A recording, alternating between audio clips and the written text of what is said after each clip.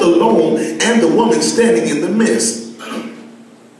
When Jesus had raised himself up and saw no one but the woman, he said to her, Woman, where are those accusers of yours? Where are those accusers of yours?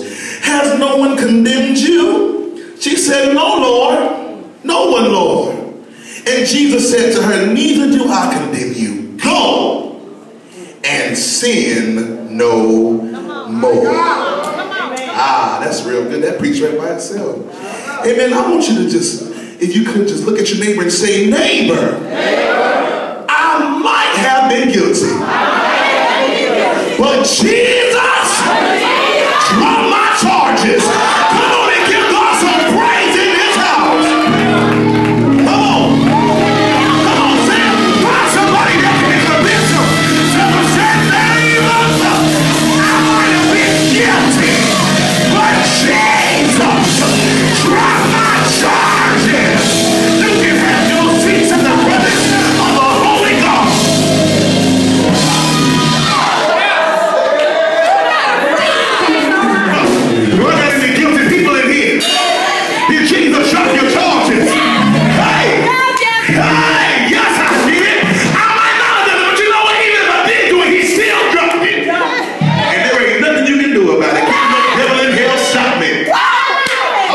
Let me get up out of here. Everyone sitting in this room right now has been, will be, and are going to be guilty of something. Amen. I'm gonna be a little unorthodox today. Amen. You want to give me the three points another day? I got you. Amen. Just check me out on YouTube. Amen. But I'm gonna do something a little ortho- unorthodox today. Uh, whether it's fornication, lying,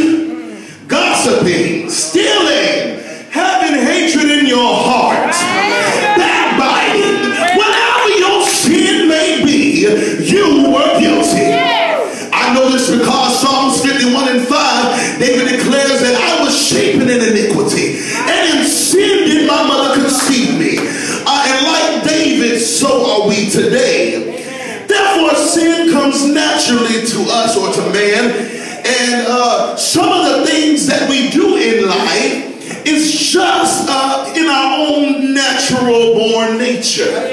Uh, we all know how this came about when Adam and Eve ate from the forbidden tree in the Garden of Eden, and uh, yes, and, and uh, they were cast out of the garden, man having to work about a sweat of his brow, and women conceiving and giving birth in pain, and then we all know that story. And, and now I'm not giving you an excuse to sin. Come on. Okay? I'm just simply stating the facts. Sin is something that has been a part of all of us. No sin is greater than the other. So whether you lied or you fornicated, whether you stole or, or you had hatred, in God's eye, it's all the same. It's all the same. There ain't nothing changed about it. And you know what? That brings me quickly to my text. Now, here we find a woman that was caught in the very act of adultery. Isn't that something? She was caught right in it. Amen. And meaning uh, somebody saw her and a man doing the nasty. Amen. They put it in simple things.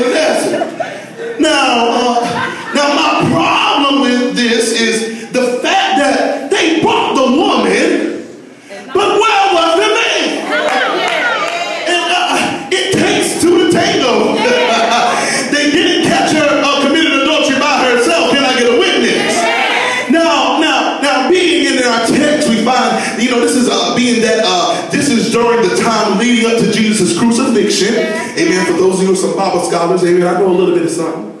Amen. Uh, and which in turn makes me question did she really commit adultery? Or was it just a setup to get the Son of God off track? Ah, this is just right there in verse 6. This they said, tempting him, that they might have to accuse him.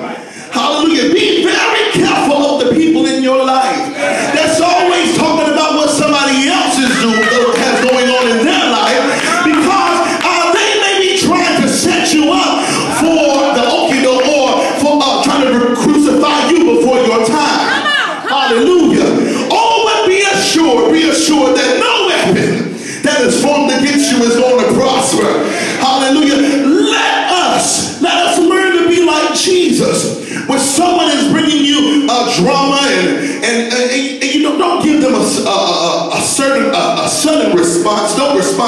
suddenly or immediately. If they and then they ask you, "Hey, did you hear what I said? What are you doing?" Just tell them, "I'm writing in the ground." Yeah. And you ain't gotta literally be writing in the ground, but just think about Jesus because Jesus didn't automatically respond to what they said. Hallelujah. He said that the Bible specifically says that he was down there as they were talking. He right in the ground as if he did not even hear what they said.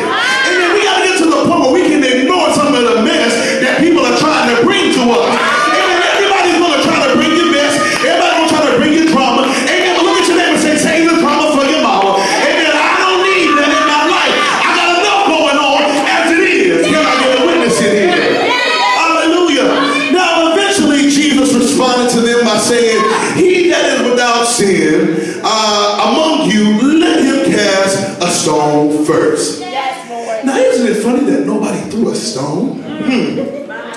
Uh, it truly is, amazes me how people can be so quick to call out what someone else's uh, someone else's sin, but forgets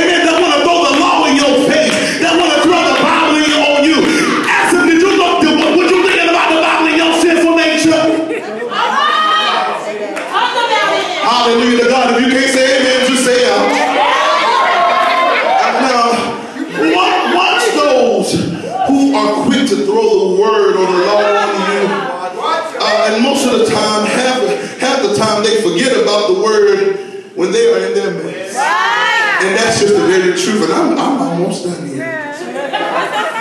The very truth of the matter is this. No one has the right to judge anyone for what they do. And that was right there in verse 10. Has no one condemned you? He asked, so nobody, where were the people that accused you? Where, where were they at? You know what? They had their own mess that they was dealing with. Hallelujah. Matthew 7 and 12 says this. Judge not that ye be not judged, for with what judgment ye judge, ye shall be judged, and with what measure ye meet, it shall be measured to you again. Look at somebody say, it'll come back again. Amen. Karma is off the chain and it's real. Hallelujah.